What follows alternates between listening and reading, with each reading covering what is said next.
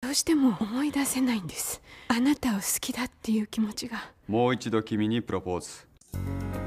竹野内豊さん主演ドラマ「もう一度君にプロポーズ」が20日金曜夜10時スタートします。くも膜下出血により夫の存在も2人の思い出も全て忘れてしまった妻ともう一度恋をするというラブストーリー。主題歌は「明日が来るなら」や「サイン」など多くのヒット曲を持つ実力派シンガー JUJU さんが歌う「ただいま」に決定しました。金曜ドラマ「もう一度君にプロポーズ」は20日金曜日夜10時スタートです。